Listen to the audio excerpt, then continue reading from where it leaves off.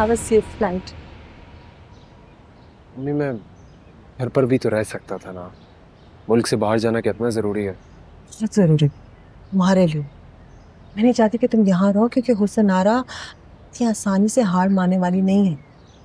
मैं नहीं चाहती कि तुम किसी उलझन में पड़ो। मैं सबको निपट लूँगी जो भी आएगा। कौन आएगा अम्मी? उसके घर में कोई भी नहीं है। वो जिस टाइप की है ना हज़ार हमदर्द पैदा हो जाएँगे।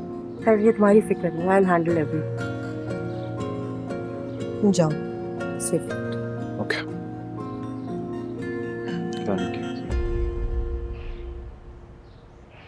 महीने में आऊँगी तुम्हें मिलने।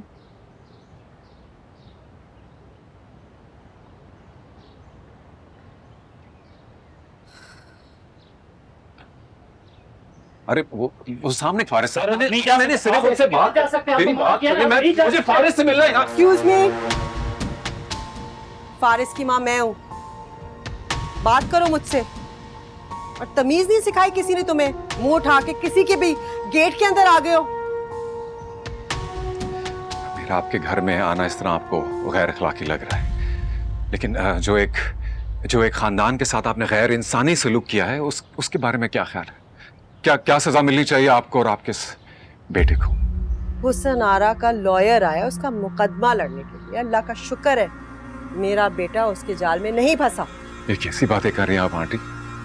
आप तो खुद एक औरत हैं। आपको तो समझना चाहिए हुसैन औरत दुल्हन बनी बैठी थी। अरे सारे मेहमान आ चुके थे।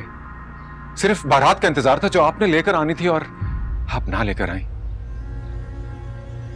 फारिस प्लीज़ हुसैन औरत की खातिर। तुम्हें मेरे साथ चलना होगा उससे एक दफ़ा मिल लो प्लीज़। मेरा बेटा कहीं नहीं जा रहा। जब उस खानदान से हमने रिश्ता खत्म कर दिया तो उस लड़की से भी कोई ताल्लुक नहीं है। समझ आई? फारिस हॉस्पिटल में है यार। वो वो तुम्हारा नाम लेती है और और, और बेहोश हो जाती है। प्लीज़ मेरे साथ एक दफ़ा चल लो उसकी उसकी हालत संभल जाएगी। प्लीज़। कहा था ना तुम्हें? ये खानदान इतनी आसानी से नहीं पीछा छोड़ेगा तुम्हारा।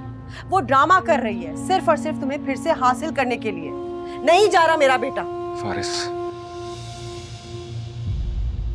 देखो तुम तुम तुम चाहे कोई झूठ बोल दो कोई कोई बहाना कर दो कि तुम क्यों ना आ सके लेकिन एक दफ़ा प्लीज़ चलो उसकी उसकी हालत संभल जाएगी।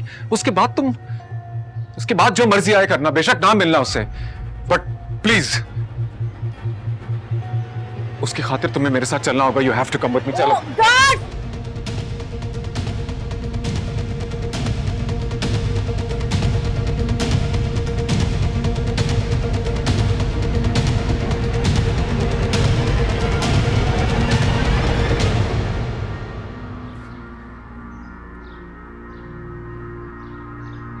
ड्रामा।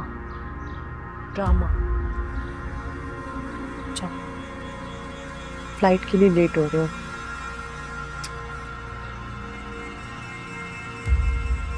के जोमान में जाओ।